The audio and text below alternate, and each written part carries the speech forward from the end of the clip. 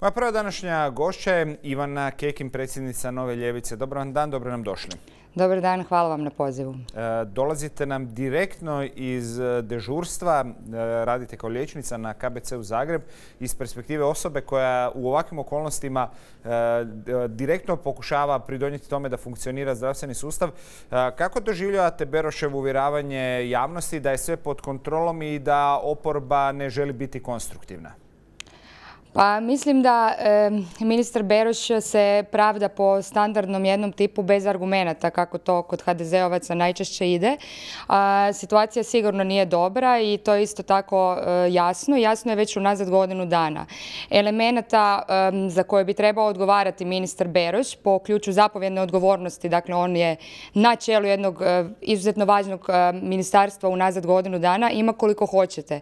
Od uvođenja nedosljednih, nepravednih mjera do njihovog nepravednog provođenja, do e, toga da mnogi pacijenti nisu mogli doći do e, zdravstvene skrbi unazad godinu dana, dakle mimo covida, do toga da su mnogi ostali de facto bez lijekova uslijed e, krize veledrogerija, dakle doslovce, dakle i onkološki pacijenti, a onda možemo tek doći na ovu zadnju krizu koja se tiče cijepljenja gdje nije nabavljeno ispočetka dovoljno cijepiva, gdje je nakon toga cijepilo se prekoredno po partijskoj liniji ono rodbinu, širu i užu i prijatelje, da bi nakon toga došlo do nereda u sustavu pa u jednom kvartu cijepimo 30-godišnjake, a preko pruge još dedeke i bakice od 80 nisu uspjeli doći na red, do ovog zadnjeg gafa sa e, samom platformom Cijepise koju smo čuli, čuli smo platili čak 4 i nešto milijuna, a e, nitko ju ni ne želi koristiti koliko je zapravo neadekvatna i loša.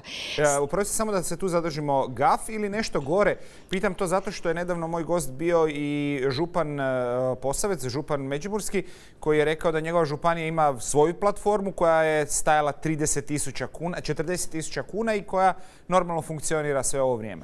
Tako je, to je to zapravo, apsolutno se slažem s vama, ni uopće odgovarajući termin jer umanjuje problematiku. Ali mi se čini da u javnosti ta problematika nije doživljena u svoj svojoj punini. Naime, iako je Beroš potpisao taj ugovor sa Kuspisom za platformu Cijepise, važno je znati da je gospodin Kojundžić, koji je vlasnik firme Kuspis, koji je plaćen, plaćeno 4 milijuna kuna za neadekvatnu platformu, u poslovima sa Hrvatskim zavodom za zdravstveno osiguranje od 2007. godine. Dakle, 2007. 2008. godine Slobodna Dalmacija, to je sve provjerljivo, piše seriju tekstova o poslovima tadašnjeg šefa HZZO-a, koji je također bio iz HDZ-a Večeslav Bergman, o njegovim poslovima sa tvrtkama gospodina Kojundžića i o potencijalnim sukobima interesa i korupciji. 2009. USKOK istražuje gospodina Kojundžića i gospodina Bergmana. Tadašnji ministar zdravstva mijenja, smjenjuje dakle, gospodina Bergmana, a e, naša naravno vlast nastavlja po istom starom receptu i dalje nastavlja tu već uhodanu suradnju. Ono što je zanimljivo je da je 2019. godine, dakle prije pandemije, također tadašnji ministar Kujundžić sa gospodinom Kojundžićem i njegovom firmom Kuspis također sklopio ugovor težak 6 milijuna za izradu platforme e-cijepih. Ono što se može saznati iz, ono što možete naći na internetu je da se zapravo, ako sam ja dobro razumjela, radi o jednoj, rekli bismo kao kolektivnoj digitalnoj cijepnoj knjižici hrvatskih građana. Dakle, to se događa prije pandemije. I onda 2020. koja bi, čovjek bi pomislio, trebala dobro poslužiti u trenutku pandemije. Kao to smo već riješili, evo, sad smo spremni za eventualno procjepljivanje u najvećoj javnozdravstvenoj krizi unazad 30 godina, odnosno čak i 100, ali evo hrvatskih 30. No međutim, mi 2020. kupujemo novu, dakle izradu nove platforme, a onda u siječnju ove godine, dakle prije tri mjeseca, ministar Beroš šalje uputu zavodima županijskim za javno zdravstvo gdje ih upućuje na to da svoje cijepljenje sugrađane upisuju u ovu prvu platformu iz 2019. Dakle, koja platforma je adekvatna, zašto smo ih sve skupa platili preko 10 milijuna kuna, ko je odgovoran za to? Može li se pogledati te ugovore? U krajnjoj liniji, ako platforma koju smo kupili za 4 milijuna kuna nije adekvatna, može li ju se reklamirati? Ja ako kupim veš mašinu koja ne pere veš, onda ju vratim i dobim novac nazad. Dakle, što će biti sa tim ugovorom, na koji je on način sklopljen i ko će za to na kraju odgovarati je veliko pitanje. Jer meni se čini iz ove perspektive da će odgovarati jedino i isključivo ministar Beroš, koji treba odgovarati, dakle bez daljnjega, ja njega nemam nikakvu namjeru niti potrebu braniti, ali mi se čini isto tako da sa smjenom ministra Beroša svi ovi problemi koji, koji postoje u hrvatskom zdravstvenom sustavu, dakle curenja novca, korupcije, neadekvatnog postupanja, ostaju i dalje. A Plenković će zapravo reći, evo ja sam napravio što sam trebao, situacija je bolja, imamo novog ministra i sad idemo u reformu. Taj film smo gledali već valjda desetak puta i ništa se nije dogodilo. E, Beroš onda kao Pedro, nakon kojeg, e, ako vas dobro svačam, e, bojite se situacije u kojoj se ništa neće dramatično promijeniti. Pa da, zato što evo, sad ovi, mislim, ne da se bojim, nego... Imamo tu i primjer ovoga, dva ministra bivša koji su trebali pa nisu ipak dobili poslove. Tvrtka povezana sa bivšim ministrom Hebrangom trebala je dobiti posao nabavke injekcija, pa je kada se o tome počelo pričati operacija otkazana. Sada je bivši ministar Ljubičić trebao dobiti posao nadzora, pa i ta operacija otkazana kad su mediji počeli pisati o tome. Točno. Mislim, za početak da se razumijemo, za plan i provedbu cijepljenja u Republici Hrvatskoj vlada je proglasila odgovornima, osim Ministarstva zdravstva, dakle gospodina Beroća, i Ministarstvo unutrašnjih poslova i Hrvatski zavod za javno zdravstvo i Hrvatski zavod za zdravstveno osiguranje. Dakle, ako ćemo na račun potpunog kolapsa sustava cijepljenja dijeliti ostavke, imamo čitav niz ljudi koji bi trebali dobiti u tom slučaju, ono, smijeniti se sa dužnosti, odnosno dati ostavke. A ponavljam, mi ćemo zapravo, odnosno ministar Beroš bit će smijenjen radi toga što je nastavio dobro uhodanu praksu Ministarstva zdravstva koja postoji više desetaka godina. O tome se radi. Dakle, on je samo nastavio raditi ono kako su mu rekli, kako je naučio, kako su radili njegovi prethodnici i kako će isto tako raditi njegovi sljedbenici. E, gospođo Kekin, e, nije vaša e, uža specijalnost, nije medicina, ali isto je tema koja se na neki način može promatrati u svjetlu priča o cvjećarnicama koje se odlučio kušati u IT uslugama i to nakon što im država pokloni povjerenje. Informacija koja je danas stigla podne iz Uskoka o tome da je Gabriela Žalac, bivša ministrica, e, suočena sa proširenjem e, optužnice za e, aferu vjetroelektrane i to zato što joj se stavlja na teret da je sudjelovala u vršenju pritiska na Hrvatsku banku za obnovu i razvoj kako bi se osigurao kredit tvrtke tvrtki koja je pokušavala postaviti vjetroelektrane. Čitava priča se zapravo svodi na to da, su, e, da oni nisu mogli osigurati investicijski e, kapital, pa su se onda odlučili e, obratiti državi kako bi im ona, osim što će im po povlaštenoj cijeni otkupljivati struju, osigurati i financiranje same ideje. Tako da nije više ni ono ideje naše benzin vaš, nego ideje vaše i benzin vaš. Da. Mislim, to sad već nalikuje, znate, ono kao što postoje u Južnoj Americi nekakve egzotične ptice čija je zajednička značajka da imaju, ne znam, prekrasnu plavu štraftu od perja na vrhu glave, tako je zajednička značajka HDZ-ovaca da im javni novac konstantno curi u partiji bliske privatne džepove. I ovo je još jedna u nizu afera koja da pače, baš sam nedavno razmišljala o tome da mi se čini da to više nije... da je to sada postala strategija, odnosno taktika HDZ-a. Ako narod dovoljno često zapljuskujemo s našim aferama, on će postati kompletno desenzibiliziran za iste. I imat će dojam da je to potpuno normalno i da se ne može ništa promijeniti. I ja mislim da se to zaista događa. Dakle, ova brzina kojom nas zapljuskuju afere je doslovce takva da jedva da stignemo izvući glavu, udahnut malo zraka, ko bi stigao razmišljati o tome da je to stvarno van svake pameti. Koje je onda e, rješenje za izlaz iz takvog stanja ili je to e, bezizlazna situacija? Rješenje za izlaz iz takvog stanja je izlazak na izbore 16.5.